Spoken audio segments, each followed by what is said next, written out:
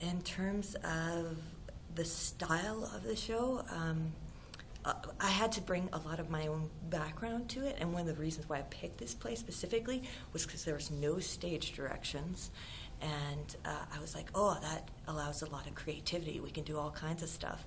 So I really wanted to bring a lot of the movement work that I had studied at school, uh, specifically in gesture work, so that each of the characters have like uh, a number of gestures that they do.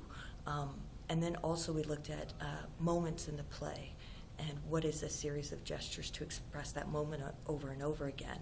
So um, it, it, it kind of creates all these other layers. Uh, one of my favorite ones is uh, a, one Braden does of his hands floating, and he does it when he's talking about his son drowning, and then he does it again when he's in the witch's cauldron. So it's just like those little things that tie together that the audience goes, "Oh, I remember that."